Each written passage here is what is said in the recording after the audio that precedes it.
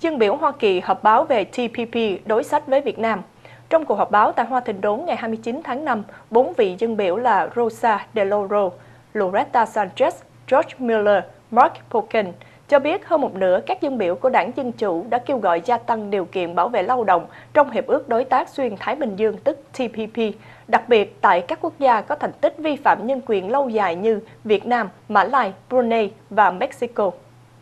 153 dân biểu đã ký một kiến nghị gửi cho đại diện thương mại Hoa Kỳ Michael Froman, thúc giục ông phải đàm phán một kế hoạch hành động và giám sát để bảo đảm quyền lao động và nhân quyền được tôn trọng tại các quốc gia đối tác đã từng nuốt lời hứa thực hiện các cam kết như Việt Nam.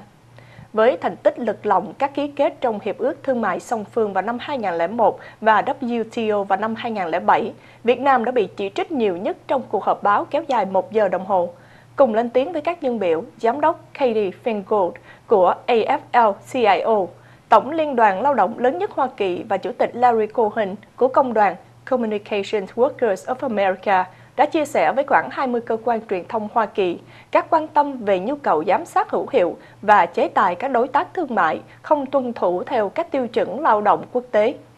Cơ quan truyền thông người Việt hải ngoại duy nhất có mặt trong buổi họp báo là tiến sĩ Minh Thi, đại diện cho Radio Tiếng Nước Tôi, đã bày tỏ sự trân quý và cảm ơn sự quan tâm của các chính khách hiện diện về quyền lao động như là một điều kiện để gia nhập TPP đối với các quốc gia vi phạm nhân quyền như Việt Nam.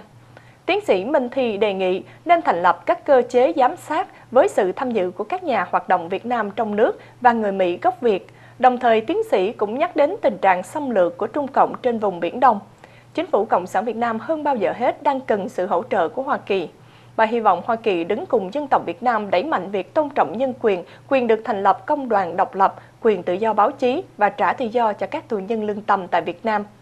Cựu Bộ trưởng Thương mại Việt Nam ông Trương Đình Tuyển hiện là một cố vấn cao cấp về các cuộc đàm phán TPP,